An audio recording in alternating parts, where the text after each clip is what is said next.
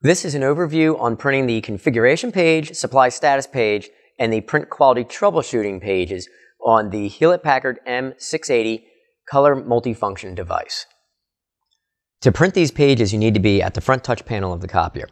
Once you're at the front touch panel of the copier, locate the administration button, then choose Reports, Configuration Status Pages, put a check mark in Configuration Page and also Supply Status Page. Choose Print.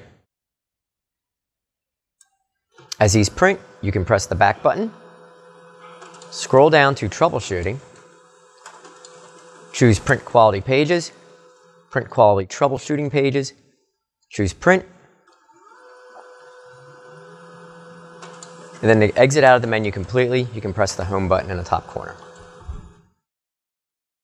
Once these pages have printed out, you can then scan to email them back to the IPS representative that requested these. That is how you print the configuration page, supply status page, and the print quality troubleshooting pages for the Hewlett-Packard M680.